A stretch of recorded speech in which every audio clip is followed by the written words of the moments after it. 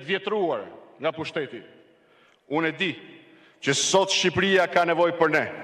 Ajo po na thërret njësoj si para 33 viteve t'i japim fund tranzicionit shqiptar, t'i japim duart klasës politike 33 vjeçare, të hapim një faqe të re për Shqipërinë dhe për shqiptarët.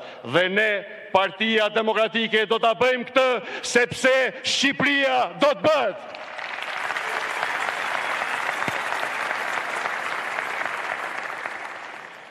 Do ta bëjmë siç e kemi nisur. Me sinqeritet, me modesti, Duke u ulur me njerëzit, duke folur haptas me ta, duke i afruar ata që kanë për zemër fatet e shqiptarëve dhe të Shqipërisë. Duke folur përditë, duke i takuar nga afër, duke biseduar sy më sy me këdo që është zhgënjyer dhe lënë në baltë nga sistemi tridhjetë e tre vjeçar. Duke forcuar bashkëpunimin tonë të ngushtë me aleatët tanë ndërkombëtarë dhe partnerët tanë strategjikë, të cilët kanë dhënë një kontribut të paçmueshëm në këto tridhjetë e tre vite tranzicion për demokracinë, për shtetin shqiptar, për drejtësinë dhe të cilët i falënderoj nga kjo sallë në emër të të gjithë anëtarëve të Partisë Demokratike. Të dashur motra dhe vëllezër, të dashur demokratë, të dashur qytetarë.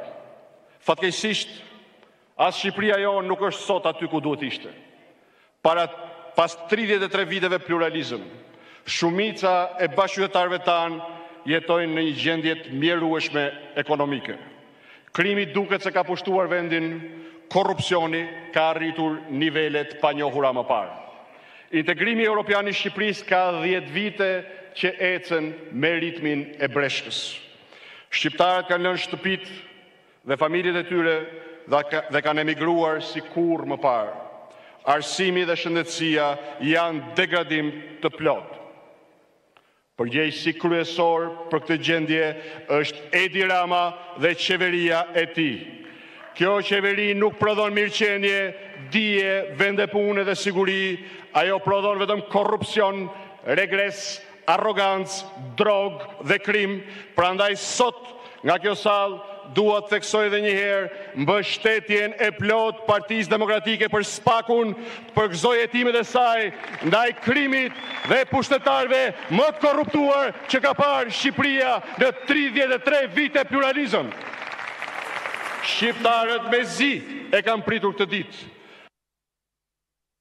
Presin drejtësi të barabartë, një drejtësi ku askush nuk është mbi ligjin, sepse vetëm kështu mund të ngrejmë shtetin e së drejtës dhe të forcojmë demokracinë në Shqipëri, sepse fatkeqësisht ky sistem ka dështuar.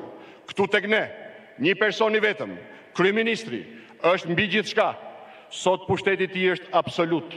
Ai vetë zgjedh, vetë vendos, vetë vulos, vetë zbaton. Sot deputetët janë kukulla të kryeministrit që përdhosin Kuvendin e Shqipërisë duke shkelur kështu me këmbë zgjedhësit e tyre qytetarët shqiptarë. Kështu, parlamenti shndërrohet përditë, i tëri në dispozicion të interesave të Edi Ramës dhe klientëve të tij ekonomikë dhe korruptivë. Ky model, Është i gabuar. Ky model është i vjetruar. Ky model nuk i çon dot shqiptarët në Europë. Ky model duhet dhe do të ndryshojë.